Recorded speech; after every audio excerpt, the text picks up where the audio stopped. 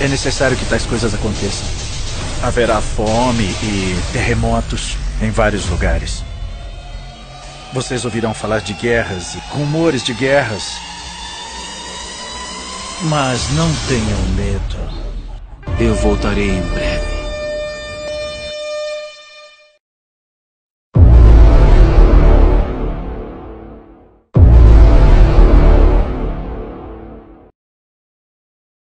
I've just watched a video that shook me to the core of my being. In just a few seconds, it shows why our conflict persists. So here's a short snippet.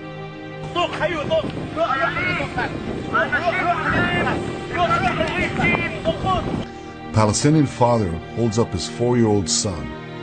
He pleads with Israeli border police to kill his own child. He shouts, shoot this little boy, his boy. He pushes his young son forward towards the soldiers and screams, kill him, shoot him. The boy pauses. He's scared. Any child would be. He turns back looking at his father for guidance.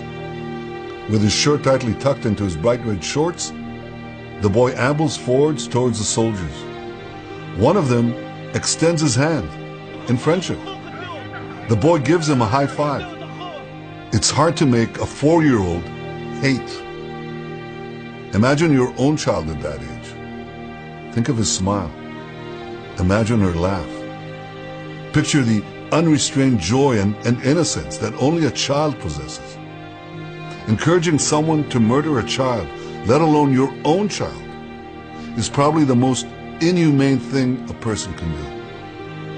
What did this child do to deserve this? The answer is nothing. He's innocent. He should be in a playground. He should be in the sun, laughing with other children. Sadly, this father's crime is not an isolated example.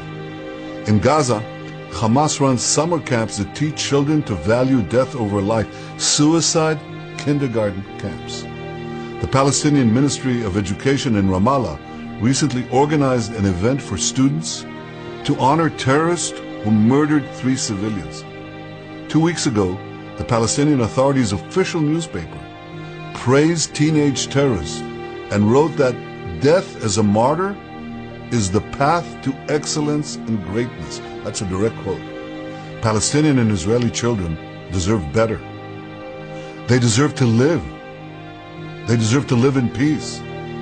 Children are not cannon fodder. They're the most precious things in the world. They're the most precious things we have. I'm sure Palestinian parents, many of them, are as outraged as I am at this video. And today I appeal to every father and mother around the world. I ask you to join me in calling for an end to this abuse of children. The Palestinian leadership must stop encouraging children to kill. They must stop encouraging Palestinian parents to call for the death of their own children. It's horrendous. Peace begins with respect. If parents don't respect their own children's lives, how will they respect the lives of their neighbors? We must love all children.